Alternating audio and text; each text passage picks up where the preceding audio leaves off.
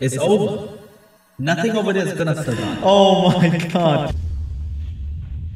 Hey guys, Seanbin and today we are testing out the Water Onimusha Suiki. He's using a Fatal rune set to maximize his damage. Today we're going to be testing out some sort of arena cleave because I have only been using this guy on the new unit in RTA but there are some other part in the game as well, right? This one in particular is max skill. There's no skill up for the passive. You gain attack power up to 250% whenever another monster get a turn. So I misread this skill in the patch note video. I'm very sorry about that. So he just gained a lot of attack power and he doesn't crit, which is like the order on Onimusha. Awaken to resistance is not the best thing ever because resistance kind of lame. I hope he can awaken into like accuracy, that'll be so good, but none of them does. They awaken to resist or speed. Even though they kind of need accuracy for skill 1 for the defense break, which is really important. He's using Fatal Will, attack, attack, attack, trying to maximize damage. If you guys are looking for artifact, you want to look for either life drain, skill 1 accuracy or additional damage proportionate to lost HP. Oh wait, additional attack stats so you can do the most damage possible. Today's video is sponsored by Skillshare, the place where people share their skills. Yeah, it is an online learning platform where you can learn so many different skills from video editing, animation, to marketing, to web development, or even entrepreneurship. You can learn so many different things on Skillshare. The classes is a combination between video lessons and class projects, and you can take any class anytime, whenever you want, wherever you want, however you want. It's a YouTube content creator. That sounds very fancy. I need to learn video editing from YouTubers.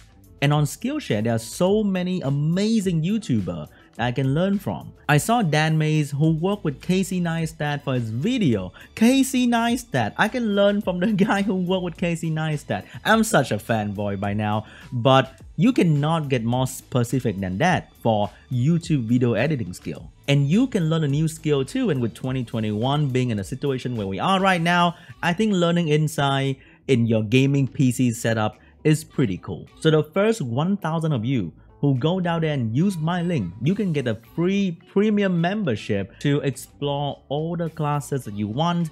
And after that, it is less than $10 per month for an annual subscription. Big shout out for Skillshare for sponsoring this video. Now let's get back to it. So the cleave is going to be a very simple and traditional cleave with strip, reset, attack buff, defense break, and damage to finish off the enemy unit. Miho is a very popular unit on defense because of her ability to not die, so the new unit fits really well into the cleave. And also because you are taking turn 2 most of the time, they will be taking their first turn and then they'll give you free attack. And after the 3 unit in your team move, you get 3 more stack for your attack stats. So he fit really well into a turn 2 cleave. Alright, let's go for a simple cleave here. It's gonna be a strip. Hopefully it doesn't stun the Tiana. As long as Tiana is fine, we should be good. Imagine that Miho stunned the Tiana. Oh my god. Imagine the Miho stunned the Tiana. So we're gonna go for the attack buff defense break. This is the perfect setup. Oh, we miss two important defense break. I wanna go for the big reset here. Hopefully we get it. We're gonna get the reset on all of them and hopefully this is gonna do some sick damage. Let's go, baby.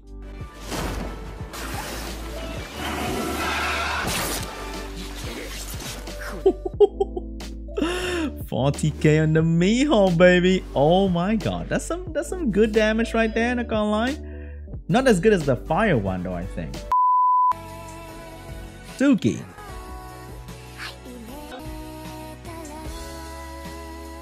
Not as good as the fire one though, I think. I think the problem with the other two Onimusha is that they need some sort of damage being done to them and they can start getting stronger. But the fire one, the fire one get the maximum damage potential right off the bat because you don't need to be like getting stacks or you don't need to lose HP on that good shit. You just starting off strong and I think that's why the fire one is on the top Meanwhile, the other Onimusha, they are not bad, but they just get kind of forgotten, you know? Even though the damage, I think, at the maximum potential, they are probably gonna be the same. The fire one has the highest base stat as well for the attack stats. The water and the wind one get more HP and defense. I don't know. I don't know about defense, but they do have more HP. So they're tankier. But the damage, I think, is roughly the same-ish. Not really, but roughly the same. Okay, there's another Miho here. The good thing about this unit is not just the multiplier. There are many good things about this new unit. It used attack slot 4, which you will only use for bomber. And you can only build so many bomber, honestly. So you will probably have some sort of attack slot 4 that you don't really use. You can slap onto them. And they do very consistent damage. They can still glance, they can still crushing hit, but the damage overall is fairly consistent even on off element because you don't rely on critical hit at all. So you do very, very good damage all the time. You don't have to pray for like, oh, I need to crit. When you build for a crit damage build, you have to find good crit rate, and then you have to find good crit damage, and then you have to pray that you crit unless you build max crit rate. So there's a lot of thing with a crit damage build unit, even though they potentially do more damage overall. But with this kind of unit, you only to worry about the attack stats and that will allow you to use rune you don't really use before and you don't really have much RNG with the damage output. If you're new to the game and you see a lot of YouTube video for these guys, I don't think they're very good for dungeon. Oh my god, did my Galleon lost his skill? Did he? God damn it. So what do we do now? Hum. I'm gonna defense break the Juno. We're gonna try to reset the Tiana and I think we should be able to kill here, potentially, because we get their passive away, right? Or we don't even have the AoE. We're gonna finish up the Juno. Alright, we can't even finish up the Juno. The damage is not the best, honestly, but it's definitely not the worst. Okay. Oh my god, oh my god. Relax, can we kill? so good, man. So good. We do like 50k on a Miho. It's so easy. Like killing Miho is like no problem with these guys. They are just straight up hard counter to Miho. It's, it's incredible. What was I talking about again? I think it was talking about new player. So if you're new player, um, oh my god, we are in trouble. Oh my god. Okay, we're gonna take some damage here and hopefully survive. Don't rush to build these guys, okay? They're they're cool and all. You know, YouTuber, we, we like to hype things up. But Oh, oh, that's a dead boy. oh my god, the, the prompts is so insane.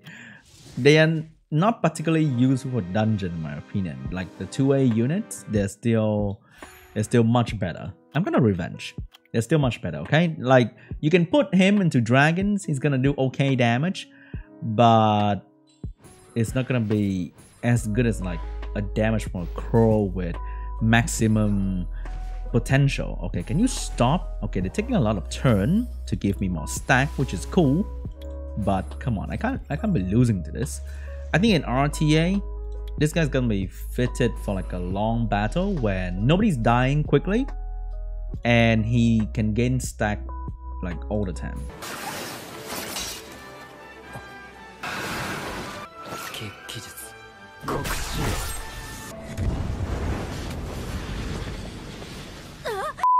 And then when when when the clock is ticking, when you gain more attack stats, and together with the stack that he can gain as well, he's gonna hit hard. And he's gonna do a pretty good job at killing enemy tanky team like the Arta Ragdoll team. But this guy is a water unit and we all know how wind unit is dominating RTA or has been dominating RTA since the only kind of CC unit that Com2uS want to make is Wind unit. So they pretty much just destroy anything water. That's why the fire one is even better because the wind unit that can face the fire one, they can't kill him, right? The the the Gani, the Changpeng, the Okeanos, they're gonna have a very hard time trying to kill the fire one. That's why the fire one is just way better even though I think the damage output overall should roughly be the same because they're the same unit. The fire one has a bit more stat and that is about it. And they all have some sort of mechanic that allow them to to gain damage. The wind one is kind of lame though, like it is based on his lost HP. And you kind of want to keep them alive, right? So if it's based on lost HP, then the more he heal back with his life drain, the less damage he does. So it's kind of awkward all the time. when you want to use the win one. We're going to cover the win one soon. If you're interested, hey, let me know in the comment section down below. But today we're covering the water one. So far, the cleave has been pretty clean, honestly. It's been not bad. But I haven't seen a single Artemi or Ragdoll yet. I think it's also cool that every single one of them has AoE skill. This guy has the one that recover HP. I think it is so much better than the endure buff that you're not even guaranteed to get. The skill 2 of this guy is so much better. I think that's one way for them to keep the fire one in check is that the fire one has the weaker skill 2. I think this is much better. Much, much better. And the animation is also like just sick. Look at that. and there's no inconsistency with damage, man. That's that's just too good. I've been playing this game for too long. Praying for crit is just something we do every day, literally. But this guy, ooh, ooh, ooh, ooh. Using the rune I don't use, doing the damage consistently like nobody before, like a bomber, pretty much.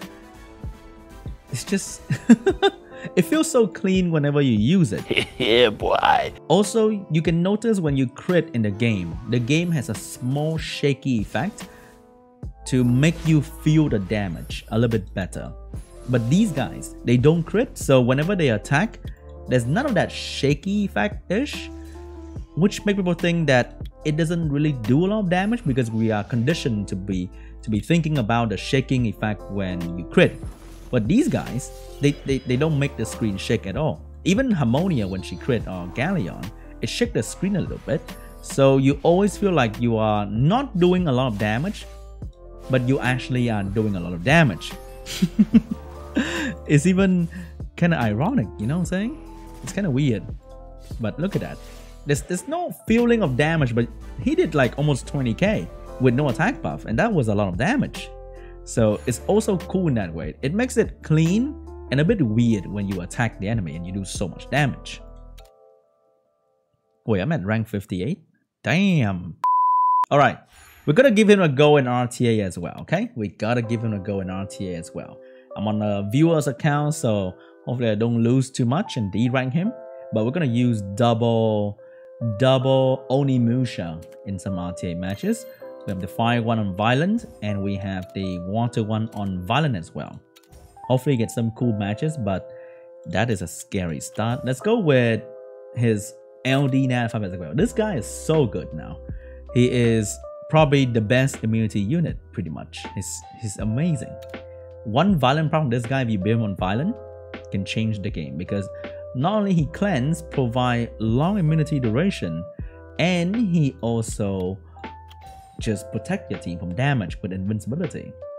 And he is a immunity unit with a solid control skill. That skill 2, 2 turn silence. Ooh, you can violent proc out uh, of 2 turn silence, baby. You're still gonna be silenced. Oh shit, that looks kind of scary there. We need a strong last pick here. Oh, that Okeanos too. It's gonna ban my immunity, right? We have to pick another immunity. And... Oh, that looks rough. We have to take this guy away. I think. But we have Bird though. It's gonna ban one of the immunity units. So we're gonna ban now. Let's ban on the Yunhong here, okay? So he doesn't have a lot of healing and support. That one unit is like an army. Okay, we have Suiki. Perfect. He banned out the OP one. He think this one is not very good. Time to prove him wrong, baby. Okay, what's going on here? You're gonna buff first. My what do you call that? My Onimusha is the fire one and he doesn't have max skill. It's my fault. But this guy, he does have max skill, which means he's gonna defense break. Never mind. He's gonna defense break. Never mind. okay, now I know to not Devilmon my stuff. Oi, he stripped everything. Oh, we are in a bad spot, bro. I think we lost. Are we? Did we lose? I think we lose. I think I shall keep my Poseidon. I uh, will not Poseidon Pontos skill. Um, to to cleanse like right now. Okay, we're gonna try to silence him. A good silence. Um, come on, man. Come on, Suiki. You, you need to violent prop out of this. Come on, buddy. You can heal up by just killing somebody. Come on. Come on. Wake up. Nope. oh my god, dude. How did that Okeanos not take a single defense break? I can't believe it. Let's go again. A Ragdoll first pick. Oh, we gotta take this. He's about to take that. A lot of people pick Ragdoll and then they pick this guy immediately because they know everybody's gonna pick this to counter him. So now he lost the oh my god. Oh. What do I do? hmm. You know what? Let's go, dude. Let's go. We don't care. We're just gonna go all in. Oh my god, this guy is stacked with LD Nat 5. How the hell? What do I do? Um, we're gonna ban the immunity unit that protect them. And we're gonna pick Miho to scare him. We have our own LD Nat 5. And we're gonna ban this. And hopefully he picked the crit rate leader. Right? Imagine he doesn't ban Miho and pick crit rate leader. I'm just gonna press auto and watch and laugh. Yeah? We're just gonna press auto easy. They can't stop me from attacking and killing somebody, right? So let's go for this guy because I think he's gonna be the one with the most damage. We have 8,000 per hit. It's right off the bat.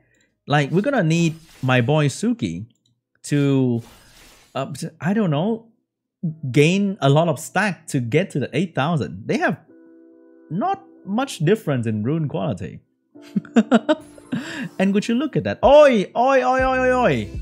Oi, can I move? Can I move? Imagine I move right there. Imagine. Imagine. Imagine. Oh wait, I supposed to get endure? Oh my god, the reflect damage was before the endure. Oh, come on, bro. I thought I would get endure right there. Okay, we need to kill if I kill Ragdoll, I pretty much win this game, right? And there's nothing stopping me against Ragdoll. Easy. We win this game. There's literally nothing he can do to me right now.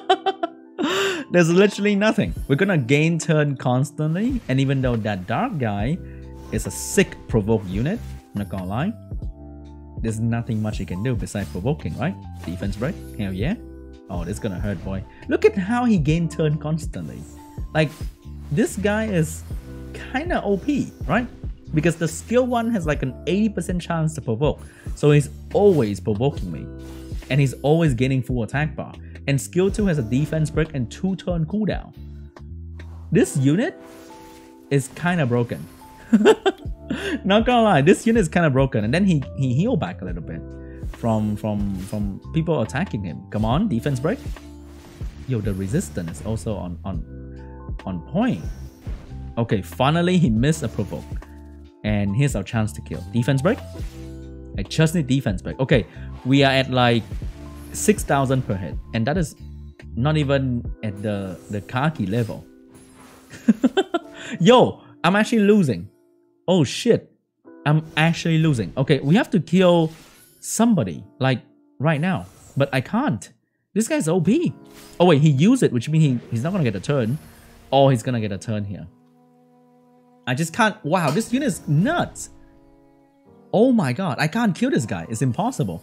Because he has a is a healer to back him up. Oh my god, I can't kill him. I literally can't. My front has not taken a normal turn ever. That's that's just insane. That's just absolutely insane. My front has not taken a normal turn at all. oh my god, finally he missed something. Okay, can she do anything? I need to buff from the front, but I can't. Oh, and a violent proc. I need to defense break him once and then violent proc, and then we win. Oh, no violent proc though. It's gonna provoke here. Oh, he missed the provoke. He's gonna heal, right? But can I do enough damage to to kill? Okay, we, we, we, we win, right? There's no way Viva Champ can win me. He, he can't swap the HP thing. Oh my god, relax, girl. Relax a little bit, shall we? Can we talk about this? Can we talk about this? Oh my god. Okay. the last one standing is Suiki against an army of LD Nat 5. If I didn't make the mistake with Kaki, I think it could have been a little bit easier. Okay, now I know that I can't get the Endure before I'm gonna die to reflect damage from Ragdoll. Now we know, okay? Now I learned a little bit. Okay, we do have immunity easily. He can't strip that easy. That's a Vile Oki right there, quite slow, which means he's gonna be procking a lot, which means I should be taking him out. Oh my, are you kidding me right now? Can I sleep? Can I kill? Come on. Dude, it's supposed to be a Suiki video, man. Can you like relax? Can you like relax, bro? My my Oni, my Oni had no chill. Dude! Because these units they have defense but in skill one, so a violent proc is very impactful. That's the problem. If you violent proc, it's just really really impactful. Sleep. Oh, I wish I have a sleep right there. But we can oblivion can we, I mean not in endure? Can I kill? I kill. I have endure. Now endure is OP because I can't die. that one time when endure is OP, I, I shit talk endure a lot. I'm just saying. But that one time when endure is actually gonna matter. Oh my god, these units are just nuts, bro. They, they, they defense break all the time. That's that's the brutal power of the skill one. It's the defense break. And after you get defense broken and they get one violent, you're gone. Not a lot of unit in the game can can have that. You know, not a lot of unit in the game can can just get a violent proc and suddenly one of your unit is gone. There's no way this vigor can ever do anything, bro. They're all gonna get chopped up nicely. They're gonna die. They're gonna die, bro. oh my god, look at this. 40k on an off element unit. I just. oh my god, dude. No wonder people are screaming about nerf already. No wonder. I'm just chopping up people like freaking onions. it's over. It's over. Nothing over there is gonna survive. Actually, that Daphnis might be our Nemesis. But do I look like I care? do I look like I care? Oh my god. Just stop. Stop this madness. Oh my god.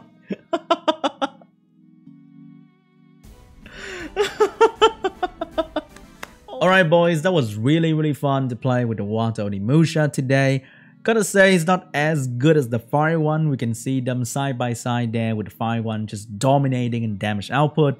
But if you have him, he's still an option and he's not gonna be the candidate for the nerf list that people are talking about because I think his damage is more balanced-ish.